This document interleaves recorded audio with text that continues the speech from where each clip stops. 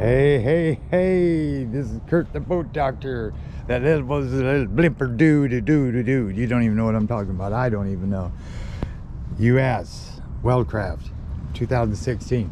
Anyway, I already sold this, had this boat out. It's already been on the videos and all this stuff, but I will do a video on this uh, Garmin Reactor 40 that's on this kicker motor. I just double check everything to make sure it is what it is when I pull it out. Uh, T99, here's your uh, steering little mini mini computer that goes up to or steering mini computer that goes up to your reactor. And he's also did the right thing got the display. Well he had to because he didn't have the Garmin. He has Lowrance up there so it won't hook up to it. But anyway this is a cool little system. I, I really like these. You got a remote.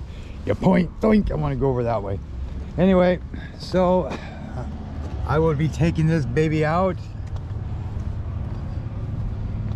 well hopefully I'll have my surgery here in a couple weeks and I'll feel better. I've been kind of a little not there oh coherent.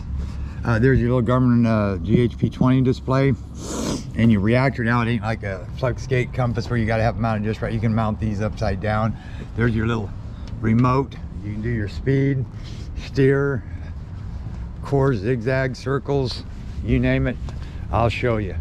And I'll try to give you a little detailed on it when I'm in there how to work it and how to set it up and all that good stuff. The boat doctor out.